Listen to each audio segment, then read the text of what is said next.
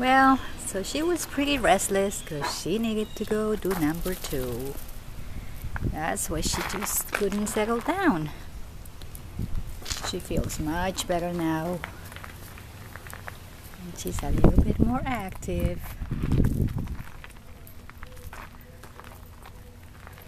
Here you come, Miss Katie.